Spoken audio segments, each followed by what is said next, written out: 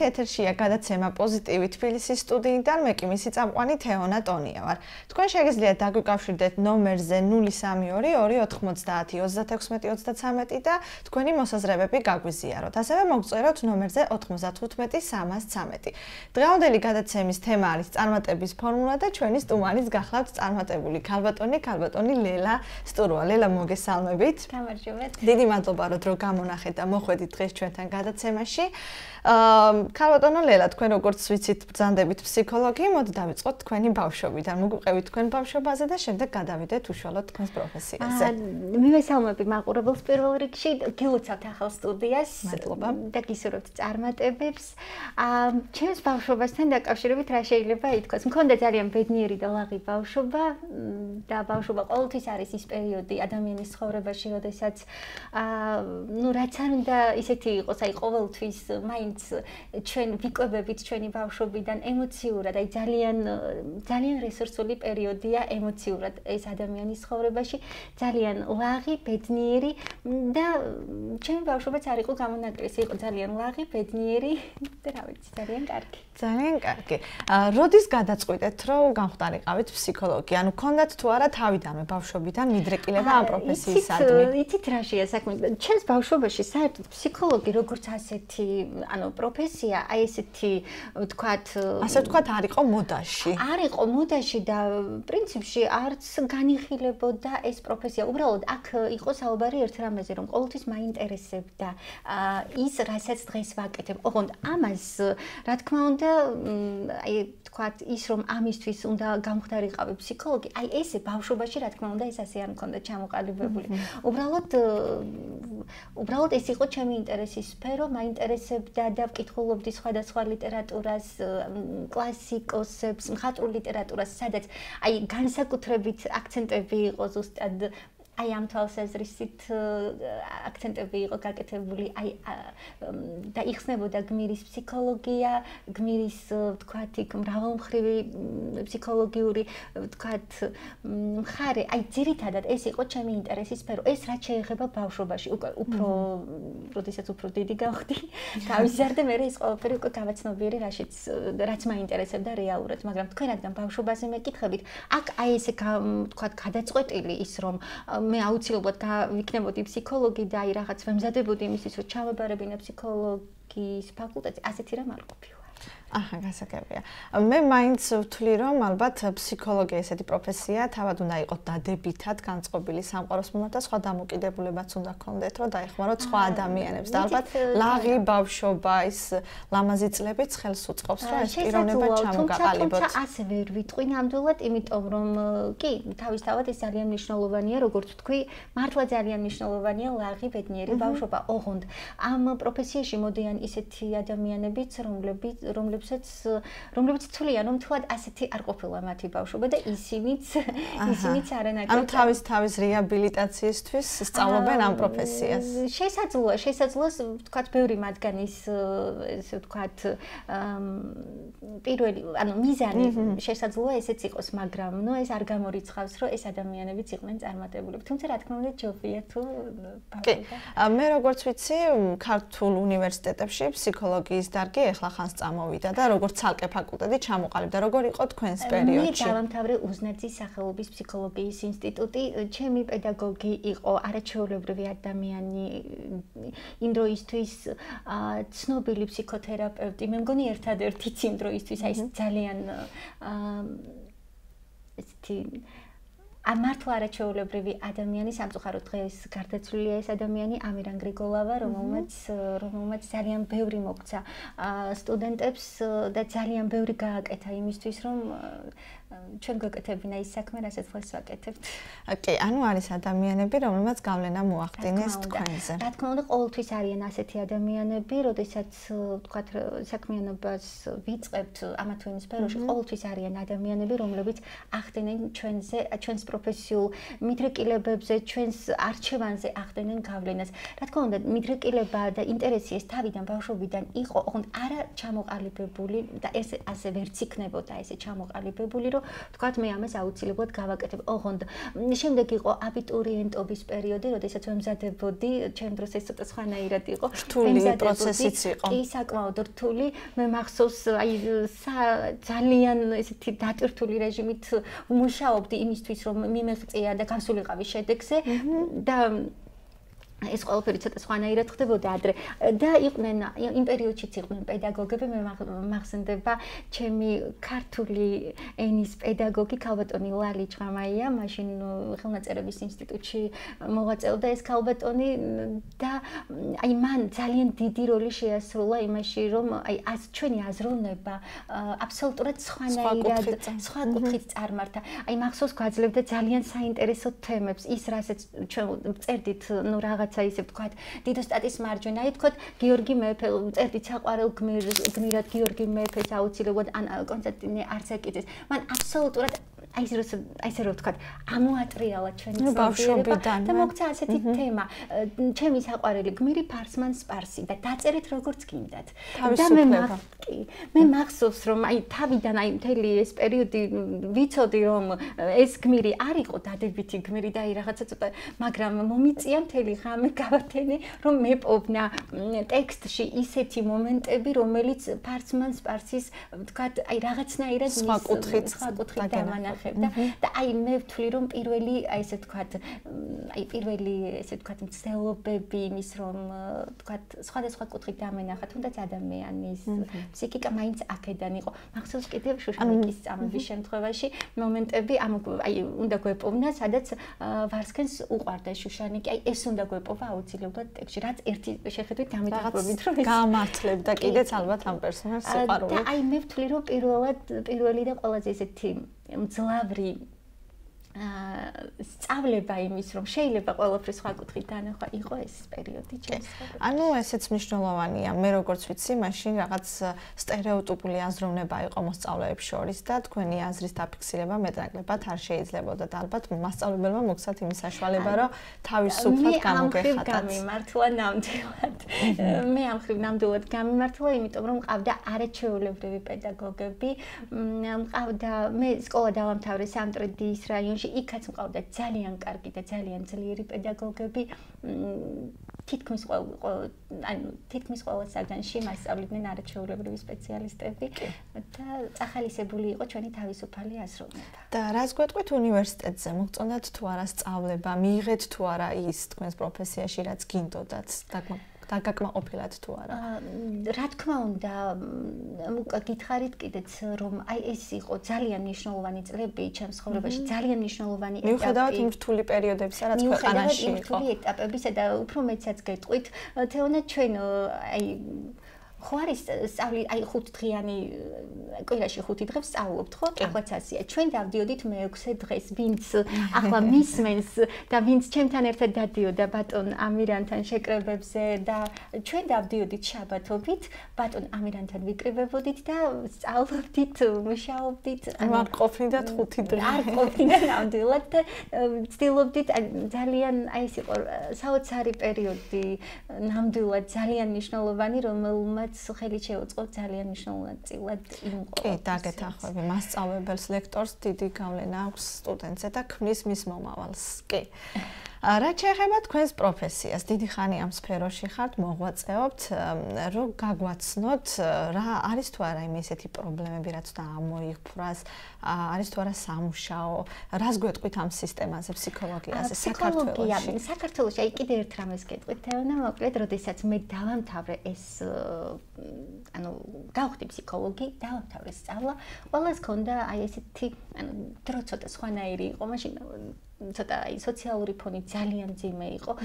ქვეყანაში და აი ყველა ახლობელი ვისაც ნუ რაღაცნაირად ზრუნავდა და ფიქრობდა ჩემს მომავალზე თუ როგორ გამოვიყენებდი და როგორ მოვახერხებდი რეალიზაციას ამ სფეროში უმეტესობა მეკითხებოდა რომ აი შენ გაქვს პროფესია რომელიც ფიქრობ თუ არავის არ სჭირდება და რა უნდა გააკეთო. აი ეს პერიოდები მე მახსოვს ძალიან კარგად ოღონდ. აი ახლაც დონი ახლა ცოტა ცოტა ცოტა შევეჩვიეთ რეალურად სხვა გვარადა ახლა საქმე. დამეთანხმებიან ის ჩემი მეგობრები, ჯგუფელები, ვინც ახლა ამას ისმენს, რომ არასდროს არ მქონია მსგავსი განწყობა. ყოველთვის ვიცოდი, რომ ეს ერთ დღეს ადამიანებს საშჭირდებოდათ. არასდროს არ მქონია ჩემს პროფესიასთან წვეტა. ანუ შესაძლოა ვთქვა რაღაც პერიოდები არ ვმუშაობდი, ვთქვა და არ ვიყავი დაკავებული. აი ასე ინტენსიურად. მაინც. არა მხოლოდ იმედი. ანუ არც ერთი დღის განმავლობაში არ შემწყვეტია მუშაობა და საკუთარ თავთან. ეს ძალიან მნიშვნელოვანია რომ პროფესიულად განვითარდეთ. ანუ მაინც თამამი გადაწყვეტილება გაქვთ მიღებული ხა წარმოიდგინეთ იმ დროინდელ ქვეყანაში როცა საზოგადოება ესია განწყობილი რომ ფსიქოლოგია არავის ჭირდება ფსიქოლოგია არავის ჭირდება თქვენ მაინც მიიღეთ გადაწყვეტილება ამ დარგზე ჩაგებარებინათ დღეს მაინც ხომ მაგ კუთხით ვირჩევთ პროფესიას პროფესიებს, რამდენად იცნობ საზოგადოება ამ პროფესიას და რამდენად საჭიროა და თქვენგან თამამინა ბიჭია. ამიტომაც მე ყოველს მინდა მოუწოდო იმ ადამიანებს, რა თქმა უნდა, მოუწოდო ხა ცოტა ისე ხმამაღლეჟერს არა მოწოდება, რომ უბრალოდ რჩევა მინდა მიცე იმ ახალგაზრდებს, რომლებიც დღეს დგანან ამ არჩევანის წინაშე უნდა აირჩიონ თავიანთი პროფესია, რომ ამ შემთხვევაში უსმინეთ მხოლოდ საკუთარ გულს, უსმინეთ მხოლოდ საკუთარ სურვილს და არ არსებობს ნაკლებ გამოყენება გამოყენებადი ან უფრო გამოყენებადი პროფესიები ეს ყველაფერი დამოკიდებულია იმაზე რამდენად რამდენ რამდენ დროს რამდენ ენერგიას რამდენ სიყვარულს თქვა ჩადებთ იმ საქმეში რასაც აკეთებთ. სხვანაირ თუ თქვენ ამ პროფესიაში არაფერ იმ პროფესიაში რასაც აირჩევთ არაფერს არ ჩადებთ და ამას გააკეთებთ იმიტომ რომ ხო აი გავიდეს ეს რამოდენიმე წელი და მე ნუ დიპლომს ავიღებ და ეს იქნება. მოხდით დიახ ანუ ამ შემთხვევაში არ გამოვა არაფერი რაც არ უნდა მოთხოვნადი იყოს ბაზარზე თქვენი პროფესია. და ანუ შესაძლოა ყველა პროფესიაში რასაც არ უნდა აკეთებდეთ თუ ამ პროფესიას გააკეთებთ და მიუძგებით სიყვარული თუ უბრალოდ უნდა გიყვარდეთ. არის ან გვიყვარს საქმე რასაც ვაკეთებთ ან არ გვიყვარს. აი მან შვალედური მე ჩემთვის რა ვიცი მე პირადად ვერ ხედა კარბოტონო ნელა ალბათ რთული იქნებოდა დამკვიდრება ამ სფეროში თქვენი მხრიდან.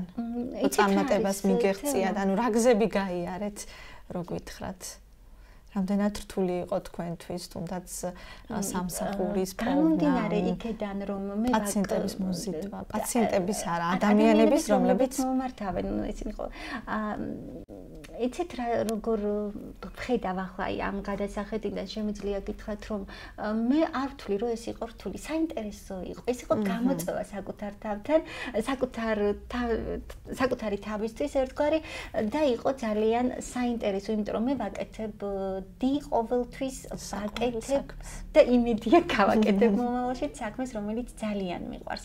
რომელსაც ნუ ფაქტიურად ნამდვილად არ იქნება ხმამაღალი თქვამი თუ ვიტყვი რომ მე ფაქტიურად ჩემი ცხოვრების და საკუთარი თავის რაღაც ნაწილი მივუძღვენი სრულიად აი გულწრფელად. გამონდინარე აქედან აი ერთ-ერთი ფრაზა მახსენდება ძალიან მიყვარს სხვათა შორის იმიტომ რომ ვეთანხმები თავიდან ბოლომდე ამ ფრაზას აკეთეთ საყვარელი საქმე და თქვენ არ გექნებათ არც ერთი სამუშაო დღე.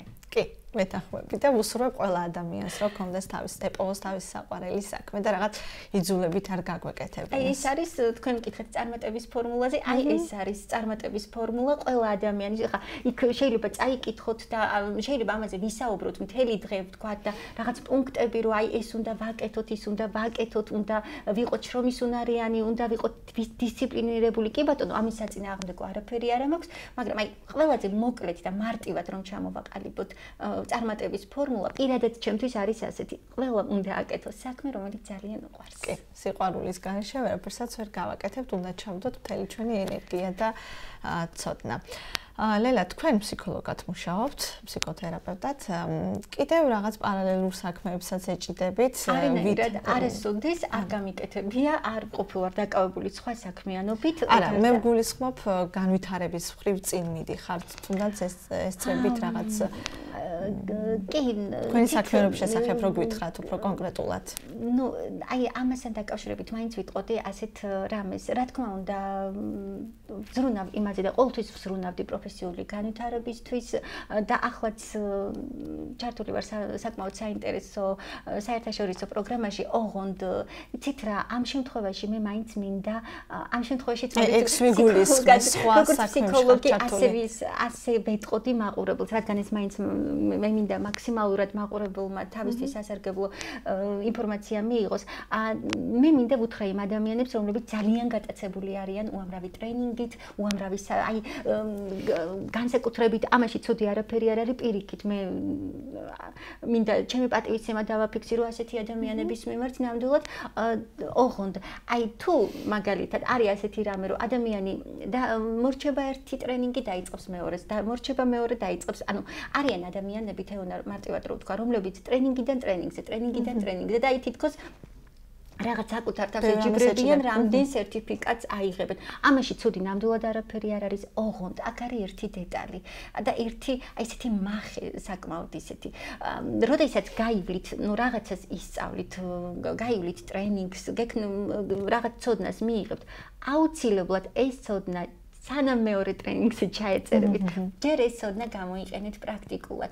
ჯერ ნახეთ ის შედეგები და შედეგები არ მოდის ტრენინგებით, შედეგები მოდის ქმედებებით. ანუ როდესაც გაქვთ ცოდნა, აი ეს ცოდნა, აი უბრალოდ აი ესე არავის არ ჭირდება, ცოტა ისეთი ნათქვამია, ანუ აა პრინციპში ასეც არის, არავის არ ჭირდება უბრალოდ დაგროვილი ცოდნა, ცოდნა ცოდნისთვის, ცოდნა ცოდნის გამო. არა, ცოდნა გჭირდება იმისთვის, რომ მოვიტანოთ რაღაც, ანუ ჩვენი წილის სამყარო რაღაც ერთი ნაბიჯით გავხადოთ უკეთესი. მაგ გავაკეთოთ აუცილებლად ის ცოდნა, რომელიც გაქვთ, გადმოიტანეთ, გადაიტანეთ თქვენს ყოველდღიურობაში. თქვენს პრაქტიკაში ყოველდღიურად აკეთეთ ის და აი ნახეთ, უბრალოდ დააკვირდით. დღეს გააკეთებთ, თქვა შეიძლება ნაკლებ ბად ხარისხიანად. მე რა მოხდა? არც არაფერი. ხო, უფრო აი უკეთესად. და აი ნახავთ რომ დროთა განმავლობაში უკვე მოდის ის, რასაც ქვია პროფესიონალიზმი, მოდის ის, რასაც ქვია ხარისხი, მოდის ის, რასაც ქვია ძალიან კარგად გაკეთებული საქმე. აი ეს არ არის თქვა ის მყისიერი პროცესი, რომ აი უცებ ერთ საათში და ერთ დღეში მოხდეს. ეს არის ეტაპები, რასაც ჩვენ თანდათან ნაბიჯ-ნაბიჯ გავდივართ. და ქარბატონო ლელა, მოკლედ თელი ამ ხნის მანძილზე თქვენ რჩ რჩევების სახით უზიარებდით თქვენს გამოცდილებას ნამწყებ ფსიქოლოგებს თუნდაც საინტერესო იქნება და აი ბოლოს კერო შევაჯამოთ და მაინც გითხრათ წარმატების ფორმულა რაშია დღეს დღეობით დაინტერესებული არიან ამ სფეროთი და განვითარებული არის და მეც პირადად ძალიან მაინტერესებს. რას ეტყოდით დამწყებ ფსიქოლოგებს და ის ვინც აირჩევს ამ პროფესიას? დამწყებ ფსიქოლოგებს ვეტყოდი იმას რომ თუ თქვენ გგონიათ რომ და ანუ რაღაც რამდენიმე წლის შემდეგ დაამთავრებთ ბაკალავრის დიპლომს მიიღებთ შემდეგ თუნდაც მაგისტრის და ამით დამთავრდა თქვენი სწავლა განათლება და უკვე შემდგარი პროფესიონალები ბრძანდებით ეს ასე არ არის. ნუ მე ჩემი გამოცდილებიდან შემიძლია ეს ვთქვა. ეს არის პროფესია, სადაც უნდა ისწავლოთ ბოლომდე ყოველდღე ყოველდღიურად უნდა განვითარდეთ, ყოველდღიურად უნდა შეიძინოთ რაღაც ახალი, ყოველდღიურად უნდა იმუშაოთ საკუთარ თავზე. ეს არის პროფესია, რომელიც იწყება ერთ მშვენიერ დღეს, ოღონდ არ მთავრდება არასდროს. და გიყვარდეთ თქვენი საქმე, ეს არის წარმოების ფორმა. ეს არის ყველაზე მარტივი, ხო ჩვენ აქ შეგვიძლია რაღაც პუნქტები და ჩამ, მაგრამ მე ვთვლი რომ ეს ეს პუნქტები ყოველ თქვენ თვითონ უნდა ესე ვთქვათ ჩამოწეროს, თვითონ უნდა შექმნას ყოველ თავისი წარმატების ფორმულა. ოღონდ ყველაფერი ეს რაზეც უნდა იდგეს თეონა. ეს არის სიყვარული იმ საქმის, რასაც ვაკეთებთ. ვერავითარ შემთხვევაში ვერ გავხდებით პროფესიონალი და აი ვერ ვერ ვიგრძნობთ თავს ლაღად, რეალიზებულად და ბედნიერად იმ საქმიანობაში, რომელიც არ გვიყვარს და რაღაც იძულებით ვაკეთებ. აა მუსიკალური ჭრის შემდეგ დაგიბრუნდებით ეთერში. Thank you.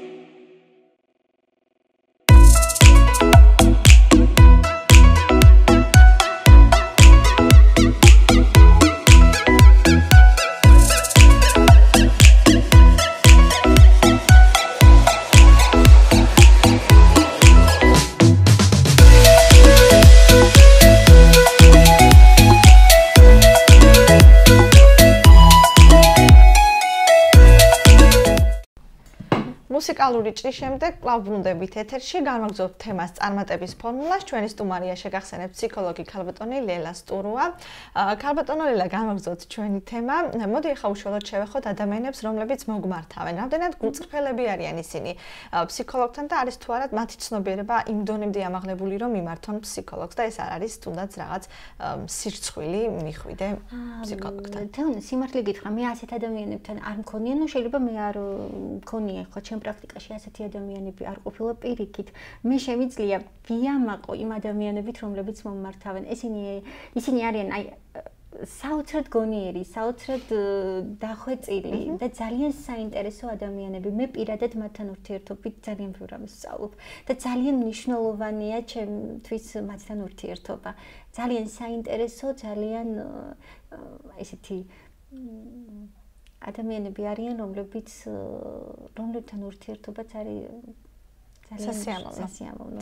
და არიან თუ არა გულწრფელები ისინი? ალბათ არიან, როდესაც უკვე მოდიან ფსიქოლოგთან. იცით ზეონა, როდესაც ადამიანი მოდის მომმართავს, მე ყოველთვის, ну ეხლა როდესაც სრდასრული ადამიანი მოდის, თუნდაც ამ შემთხვევაში ყოველთვის ვეკითხები, რამდენად არის ეს მისი სურვილი, ხომ არ არის, ვთქვათ, გადაწყვეტილება დედის, მამის, ოჯახის წევრის, იმიტომ რომ ასეთ შემთხვევებში, როდესაც ადამიანი მოყავს ოჯახის წევრს, მოყავს სხვა ადამიანს, თუნდაც ნათესავს და ასე შემდეგ ასეთ შემთხვევაში, რა თქმა უნდა, მუშაობა ანუ ხარისხი არის ну фактиურად ძალიან დაბალი. იქნება ასეთ შემთხვევებში, იმიტომ რომ ადამ თუ ადამიანს თვითონ არ აქვს мотиваცია, თვითონ არ აქვს იმის мотиваცია შექმნილი, რომ ამ დგომა კონკრეტული მდგომარეობიდან მივიდეს კონკრეტულ თავად უნდა გააცნობიეროს. რა თქმა უნდა, ამას ვერც დედის, მამის და ახლონათესავის ხათრით ამას უბრალოდ ვერ გააკეთებს. და ამიტომ პირველ რიგში, აი პრინციპულად მნიშვნელოვანი საკითხია ფსიქოლოგთან მომართვის შემთხვევაში, მე მინდა ეს მაყურებელსაც ვუთხრა თუ რომელიმე თქვენგანი ამას აპირებთ რომ მიმართოთ სპეციალისტ პირველ რიგში. ეს უნდა იყოს თქვენი გააზრებული სურვილი თქვენი გააზრებული ესე ვთქვათ გადაწყვეტილება და ფსიქოლოგი იცით თეონა მანდარი კიდე ერთი რაღაც რომ ხანდახან გონიათ ადამიანებს რომ ფსიქოლოგთან რომ მივლენ ფსიქოლოგი ფსიქოლოგს აქვს აი ეს ყველაფერი რაღაცა ეს ჯადოსნურ კილებში და მანიცის უბრალოდ თქვენთვის რა ჯობებს მანიცის რა და როგორ უნდა გააკეთოთ და თქვენ აი ეს უბრალოდ უნდა იჩდეთ და აი ეს ყველაფერი მოისმინოთ. ეს არის ძალიან დიდი შეცდომა რა თქმა უნდა ფსიქოლოგი თქვენს ნაცვლად ვერაფერს ვერ გადაწყვეტს და არც ჯადოსნური რაღაც ელექსირები გვაქვს ესე რომ ვთქვათ. ეს არის და ჯადოსნური ელექსირი თუ მანდა მაინც ასე ვისაუბრებთ ეს არის თქვენი მონდომება თქვენ თქვენის სურვილი, ანუ ადამიანის, რომელიც მიმართავს ფსიქოლოგს, თქვენი ნამდვილად ესეთი მყარი მოტივაცია იმისთვის, რომ მივიდეს შედეგთან. ჩვენ ხანდახან ადამიანს აქვს ეს თქვა შედეგი კარგად განსაზღვრული, რომელსაც მე აი სულ ამობ გადაცემებში A პუნქტიდან B პუნქტში, ან მე მგონი უკვე დაიღალა მაყურებელი ამის მოსვენით. ანუ მაგრამ მე კიდე გავიმეორებ, ანუ რას ნიშნავს ეს A პუნქტიდან B პუნქტში მდგომარეობა, რომელიც აქვს ადამიანს და მდგომარეობა და არ მოსწონს რა თქმა უნდა და მდგომარეობა, რომელთან მისვლაც მას უნდა. ეს აუცილებლად უნდა განისაზღვროს.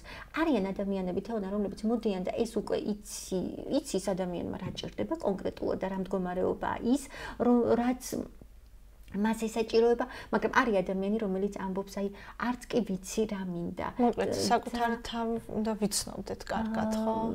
და ამაში ფსიქოლოგიც გვეხმარება ალბათ. თეონა, კი, სასურველია, რომ ეს ყველაფერი კარგად გქონდეს გააზრებული, მაგრამ კიდევაც, აი, რომ არც გქონდეს გააზრებული, ამაში შესაძლოა ფსიქოლოგი დაეხმაროს ადამიანს და უნდა დაეხმაროს კიდეც. თავარი, რაც ადამიანს აუცილებლად უნდა გქონდეს, ეს არის სურვილი. სურვილი, რომ მივიდეს, ანუ ამ მდგომარეობიდან გამოვიდეს და მივიდეს დავიდეს სხვა მდგომარეობაში. აი ეს სურვილი და ეხლა თუ თქვა აი ესეთი ადამიანი მოიყვანა, თუნდაც 20-22 წლის ადამიანი მოიყვანა დედამ და ნუ ადამიანს თვითონ არ უნდა თქვა და თulis რომ სულ არ ჭირდება ფსიქოლოგის დახმარება და აი ამ დროს იქ დედა და мама და ვიღაცა სხვები თუ სხვებმა მის ნაცვლად ეს გადაწყვეტეს. ამ შემთხვევაში მე პირადად ამ ასეთ დროს არ მუშაობ. მე მაინც გონია რომ ყველა ადამიანს თავის პირადი ფსიქოლოგი უნდა ყავდეს. ნებისმიერ პრობლემის გადაჭრაში ეხმარება მარტივად მოაგვაროს რაღაც საკითხი. ჩემთვის ეს მაგალითად მისაღებია. არიან თუ არა ესეთი ადამიანები, რომლებიც ესე ხშირად მოგმართავენ, ხედავენ როგორც თავის პირად ფსიქოლოგს. იცით რა არის? თეონა, ამ საკითხზეც მე მაქვს ჩემი შეხედულება და ძალიან არგუმენტირებული, როგორც მე ამას ვთვლი. და რა არის ეს შეხედულება? ეს არის ის, რომ ადამიანი არ უნდა მიეჯაჭოს თავის ფსიქოლოგს. ანუ დამოკიდებული არ უნდა გახდეს ესეც ცალკე ჩვევა მავნე. თუ კი რა თქმა უნდა 5 წელი, 6, 10 წელი დრო ადამიანი დადის და აი ეს რას ნიშნავს? ნახეთ, აი ცოტა სხვა კუთხით რო შევხედოთ. ეს ნიშნავს იმან რომ იმას რომ ამ ფსიქოლოგმა მეორე ადამიანს შეუქმნა იმის აი ისეთი რეალობა, ისეთი განწყობა, რომ აი მე ყოველთვის მჭირდება აა მეორე ადამიანი ფსიქოლოგი იმისთვის, რომ ჩემი პრობლემები მოვაგვარო. ჩემი მიზანი არ არის აი თქვა თუ თქვენ აი მაგალითად თეონა მოდის ჩემთან როგორც ფსიქოლოგთან, ხო? ჩემი მიზანი თეონა არ არის ის, რომ შენ მოხვიდე და 20 წელი იარო ჩემთან. არა, ჩემი მიზანი არის ის, რომ შენ ის ის დამანახო, სამყარო თავად გაუმკლავდე. კი, საკუთარ რესურსებთან აღგიდგინო წვდომა, რომ ერთ დროს ხო არ გჭირდებოდი, არა? თქვა ხუთი წელი. აი, ზუსტად გავაკეთოთ ისე, რომ შენ აღიდგინო შენი, ესე ვთქვათ, ბალანსი ფსიქოლოგიური, ემოციური და შენს რესურსებს თან აღიდგინო წვდომა და შემდეგ უკვე მსგავს სიტუაციებში შენ გქონდეს აი ეს მართვის, ესე ვთქვათ, პუნქტი. შენ გეჭიროს ხელში და არა მე. კი, აი ეს არის თავარი და ასეთ შემთხვევებში ხა თუ თქვა ადამიანი და მე ვიცნობ სხვათა შორის ასეთ ადამიანებს რომლებიც მთელი ნახევარი ცხოვრება დადიან და ამბობენ რომ აი და ეს ნიშნავს ჩემთვის უხარისხო მუშაობას იმიტომ რომ არ შეიძლება ადამიანი თუნდაც ფსიქოლოგზე იყოს დამოკიდებული. ეს კარგი ინფორმაცია მივიღე ხა თქვენგან მე რადგან მეგონა რომ ეს პირადი ფსიქოლოგი მაინც სასარგებლო და კომფორტული იქნებოდა ადამიანისთვის თუმცა არა თუნდაც გამოგეს არ არის უბრალოდ მე აქ ვლაპარაკობ იმაზე რომ ადამიანი ყველა აი ელემენტალური სირთულის შემთხვევაში გარბის დასკმარებლად ფსიქოლოგთან. არა, თუ ფსიქოლოგმა იმუშავა ხარისხიანად იმ ადამიანს მსგავს და უფრო რთულ სიტუაციებში ექნება საკუთ, აი, ექნება ის უნარები, როგორ გაუმკლავდეს ამ ყველაფერს და როგორ ასე ვთქვათ მივიდეს ან თავისი რესურსებით გააკეთოს ის და არ ეძებოს ეს რესურსების აღმოჩენაში ეხმარება ფსიქოლოგი მას და ესეა. კანტონელა ამდენი ადამიანი მოგმართავს თავიანთი პრობლემებით. ანუ ძალიან გრძნობიარე ადამიანი თუ ხარ, მე მაინც ვთვლი, რომ ფსიქოლოგია არ არის ესეთი ადამიანის საქმე. მე დაგეკითხა ხოლმე, ეს არის წმინდა პროფესიული ასე ვთქვათ, უკვე როდესაც ხდებით პროფესიონალი, თქვენ სწავლობთ ამ ყველაფერს როგორ გაუმკლავდეთ და ხშირად მეკითხებიან სხვათა შორის თუ გადმოდის აი ეგ შეკითხვა უნდა დამესვა, ანუ რამდენად ბლოკავთ იმ სხვის ემოციებს, რამდენად შემოდის ან არ შემოდის თქვენში. ამ შემთხვევაში მე ამაზე არ ვფიქრობ, მე არ მაქვს ამის ფიქრის არც მოდის სიმართლე გითხრათ ეს რაღაცები, რომ იმ მომენტში, როდესაც მუშაობთ ადამიანთან, სადაც უნდა მოგვარდეს ძალიან ხშირად საკმაოდ სერიოზული პრობლემა, ამ დროს მე ჩემ თავზე ვიფიქრო ეს ფაქტიურად.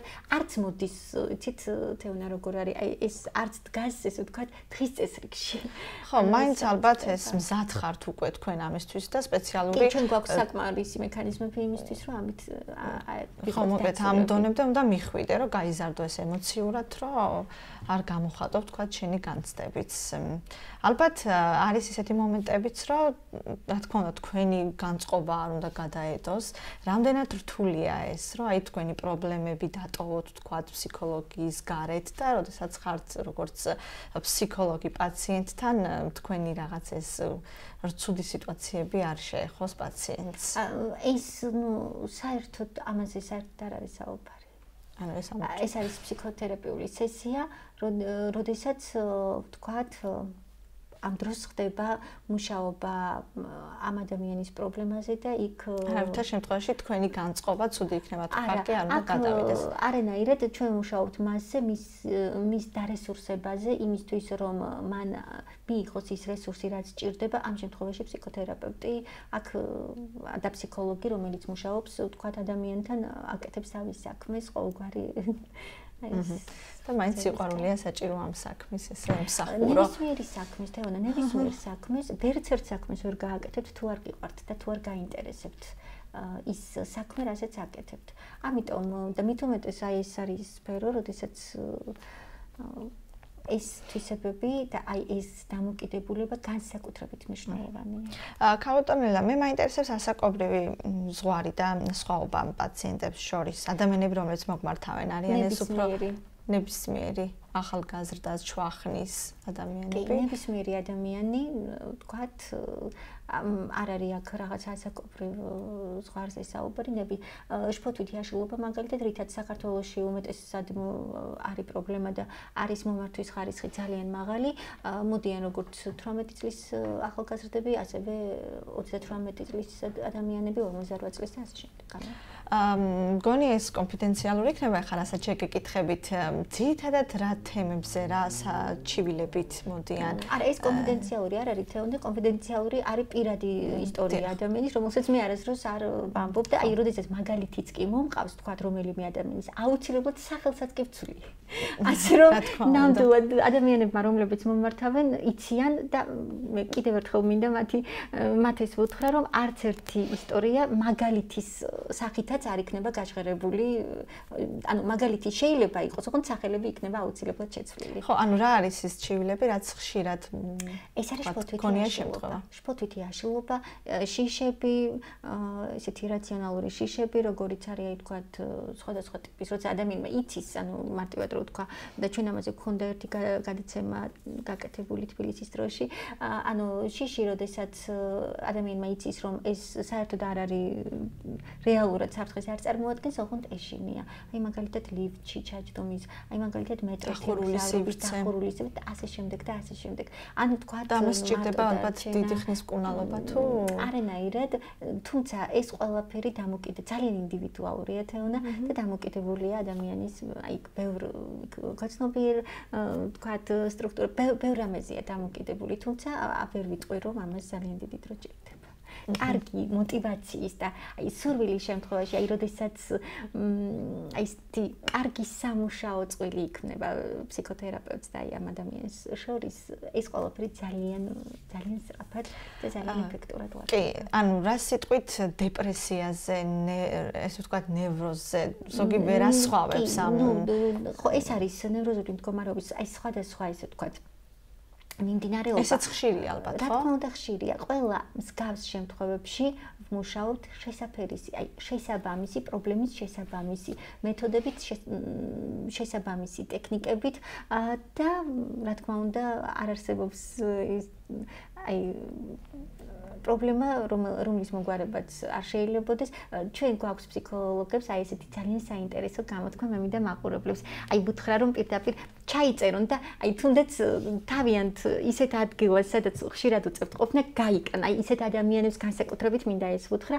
ვინც ხშირად აი ხშირად ამბობს რომ აუ რამდენი პრობლემა მაქვს და დამიკრობდა პრობლემები და ვაიმე ნუ ესე რომ ვთქვათ ხშირად ამაზე წუწუნებს ის რო ვთქვა მინდა ვთქვა ასეთი რამ. არსებობს ორი ტიპის პრობლემები. მოგვარებადი და გამოგონილი. თუ პრობლემა რომელიც გაწუხებთ თვლით რომ მას მოგვარების გზა არ აქვს ესე იგი რაღაც გამოიგონეთ ისეთი. ანუ გამოიგონეთ მე იმას არ ვამბობ ტყუილია უბრალოდ თქვენ ამას იმდენად მწავეთ ხედავთ რომ გეჩვენებათ უბრალოდ რომ ის არის მოუგვარებელი. თორე აბსოლუტურად ყველა პრობლემას აქვს თავისი გადაწყვეტის გზა არ ამდენად არსებობს ორი ტიპის პრობლემა. კიდე მინდა გავიმეორო, პრობლემები რომელიც სრულად მოგვარებადია და პრობლემები რომელიც გამოგონილია. ჩვენ თემა დავიწყეთ წარმატების ფორმულით და გვერდი ვერაუარეთ ფსიქოლოგიას, იმიტომ რომ დავინტერესდით ფსიქოლოგიური საკითხები, რომელიც ხშირად მოგმართავენ. წარმატების პირადად ჩემთვის წარმატების ფორმულა კიდევ ერთხელ ვიტყვი თეონა, რომ ეს არის საქმის სიყვარული და როდესაც არის საქმის სიყვარული, აი აქ უკვე მოდის. საქმისადმი ერთგულება.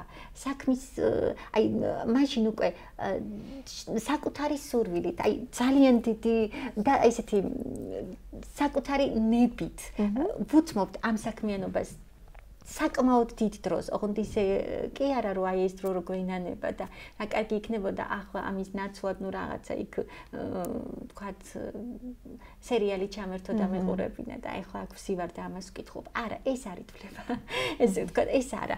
აი, როდესაც ამ დროს ამ ენერგიას და აი ყველაფერ იმ რესურსს რაც გვაქვს, დიდი სიამოვნებით და ძალიან დიდი აი ეს ვთქვათ სიყვარულით ვუთმობთ იმ საქმეს, რომელიც გვყვარს. კი, ეს არის სწორედ წარმოტების ფორმულა. დაუთმოთ ბევრით, რომ იმ საყვარელ საქმეს, რომელსაც ვაკეთებ. და მე მოდის უკვე ის ყველა ის ნაბიჯები თეონა, რომელიც რა თქმა უნდა აქ შედის შრომის უნარი ან შრომის მოყარეობა, აქ შედის თვითდისციპლინა, რომლის გარეშეც მე მინდა გითხრათ, რომ არანაირი წარმატება თუ რომელიმე თქვენ საკუთარ თავზე გამარჯვება. არა, საკუთარ თავზე ჩვენ ვერასდროს ვერ გავიმარჯვებთ, ესეც ფსიქოლოგიური და ეს მცდარია, რომ ჩვენ უნდა ვებრძოლოთ ჩვენ თავს, საკუთარ თავს. არა, უბრალოდ უნდა შევთანხმდეთ საკუთარ თავთან. ფსიქოლოგია ეს არ არის საკუთარ თავთან ბრძოლა. ფსიქოლოგია არ ასწავლის ადამიანს საკუთარ თავთან ბრძოლას და გამარჯვებას, რომელიც რეალურად შეუძლებელია. საკუთარ თავთან შეთანხმება, საკუთარ თავთან ასე ვთქვათ, მოლაპარაკება, თუნდაც საინტერესო რჩევა ამ აყურებლისთვის. თუნდაც იმ ნაწილებთან, აი, როდესაც ჩვენ რაღაც გვეზარება, ხო არის ეს მიჩნეული რომ აი სიზარმაცე არის ცუდი თვისება. სულაც არა ეხლა თუ ქრონიკულ ნუ იქ კიდე სხვა, მაგრამ თუ კი ჩვენ კონკრეტულად თქვა რაღაც ერთი ან ორი რაღაც გვეზარება ამ საქმიანობაში, აი დავფიქრდეთ, რატომ მოდის ეს სიზარმაცე ამ კონკრეტულ საკითხებთან დაკავშირებით და რატომ იქნებ ჩვენი გონება უბრალოდ ზოგავს თავის რესურს იმისთვის რომ თქვა მისთვის ეს ნაკლებად ანუ აქვს აზრი ცოტა სხვანაირად შევხედოთ ამ ჩვენ სიზარმაცესაც რაღაც კონკრეტულ საკითხში. რატომ რატომ ბლოკავს ამას ჩვენი ფსიქიკა? და რა უნდა გავაკეთოთ იმისთვის? და ან როგორ შეიძლება ეს ხანაირად გავაკეთოთ?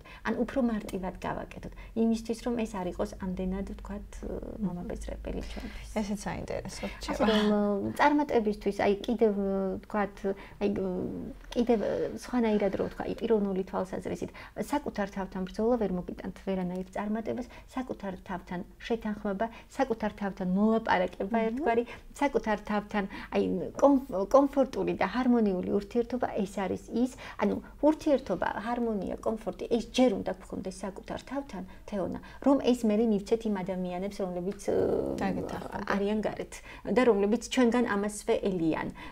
ვერავის ვერ მივცემთ იმას, რაც ჩვენ არ გვაქვს. აი ელემენტალურად ნივთი, ხო? ნუ რაღაც ნივთი თუ არა გვაქვს სახლში, ეხლა რაც არ უნდა ვთქვათ, მოვიდეს ჩვენთვის ვირფასი ადამიანი და გთხოვოთ, რომ იქნებ მათხოვო, ვერ ვათხოვებთ, იმიტომ რომ არ გვაქვს რეალურად. აი ესევეა შინაგანის შინაგან ასპექტში ისიც იგივე ხდება. თუ ჩვენ თვითონ არ გვაქვს თანხმობა საკუთარ თავთან, სხვას ამას ვერ მივცემთ. სხვას ვერ ვაგრძნობინებთ, თქვათ, იმ ჰარმონიას, იმ კომფორტს ურთიერთობაში, რაც საკუთარ თავთან ჰარმონიული ურთიერთობა უნდა დავამყაროთ. პირველ რიგში, გზა სხვა ადამიანებამდე, ეს არის ზუსტად მანძილი საკუთარ თავამდე.